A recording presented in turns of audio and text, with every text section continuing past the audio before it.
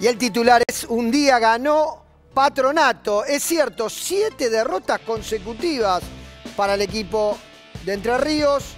Y fue con este gol de Oliver Benítez, justamente el autor del primero luego del centro, en este inicio de la octava fecha, justamente de la Copa de la Liga, frente a un Aldo Civi que venía bien, pero el patrón tuvo el dominio justamente de la pelota y de las ocasiones y no las desaprovechó. Hubo una polémica importante antes de este gol de Lautaro Comas que cerraba el 2 a 0, que fue un gol anulado por obstaculizar la visión del arquero y así también eh, algunas cuestiones con Germán Delfino por parte de la visita que no pudieron digerir. ¿eh?